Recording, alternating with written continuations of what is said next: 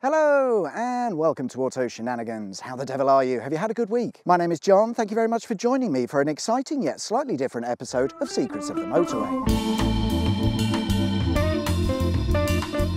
This week we're exploring the most famous motorway that isn't a motorway, the M96. You may have seen it in various press articles labelled as a secret motorway, but I'm sorry to tell you it's neither secret nor a motorway. The M96 motorway that isn't a motorway runs for around 400 metres or so. It doesn't have any junctions, but if it was a real motorway, it might be considered the shortest motorway in the country. So what's the deal with this secret motorway that's not a secret nor a motorway? Let's find out. But before we look into it, we need to fill out the video, so let's look at the history of the site and how it came to be. In 1940, work began on the construction of a new airfield next to the town of Moreton in Marsh, and in 1941 the RAF started moving in despite the fact that not all the buildings were completed. I can only imagine they were in a rush, what was happening in 1941? The airfield was built with three tarmac runways in the usual RAF A-shaped layout, along with five aircraft hangars. The main unit based at RAF Moreton was the 21st Operational Training Unit, and it was here that they would train pilots to fly Wellington bombers for service in the Middle East. They came back to their home aerodrome, but not all came back. In 1986, the remains of aircraft LN693 were discovered not far from the airfield, having laid there for 42 years. Some sources say that the plane crashed following pilot error during a cross-country operational training exercise, however some other sources say that the reasons for the crash are unknown. The remains of the aircraft were moved to the Midlands Air Museum, but I don't know if it's still there or not. Pilots continued to be trained at RAF Moreton until 1955, when eventually the flying ended. The RAF held onto the site though until 1959. During that time it was used for the training of firefighting techniques for use during nuclear war, something that was all the rage at the time. After 1959, the Home Office took over the site, renaming it as the Home Office Fire Training Centre. Today it's known as the Fire Service College, where they train firefighters in practical real-world environments. The site is quite remarkable actually. It was built up over a few years from the late 60s to the mid-70s, officially opening in 1974.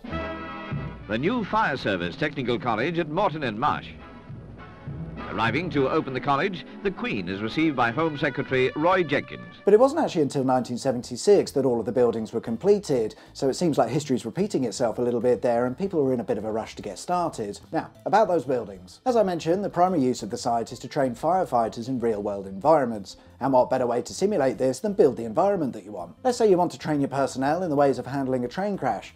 Well, here you go. Here's a railway, complete with locomotives, rolling stock, and everything that you need to make it a very convincing real-world incident. What's more, the whole thing can be set on fire repeatedly. And that goes for a lot of the training areas across the site. They're designed to be set on fire time and time again, obviously for training purposes. There's a pair of fighter jets, I don't know, tornadoes maybe, but they're just sat about waiting whatever training exercise is required of them. And if you have a look around, there are various other props and structures that certainly would be useful in an aircraft or airfield training environment. So all of these exciting things just for training purposes. I imagine if you were a member of the fire service, it would probably be quite a nice day out. As for the real world situations, yeah, let's ignore those. Let's take a look at what what's called the Commercial Building. Extending over four stories with a basement, it's the largest fire building of its type in the world. It's designed to replicate a warehouse, shopping centre, hotel or office block incident. This steel structure is supposed to give the impression of being on an oil rig, and with its winding stairs, tight corridors and small spaces, I imagine it's rather convincing. They're also able to test or train using LPG or fuel-based fires, which I imagine are more commonplace on an oil rig. The opening sequence was filmed on this simulated oil rig platform but also serves as a chemical plant.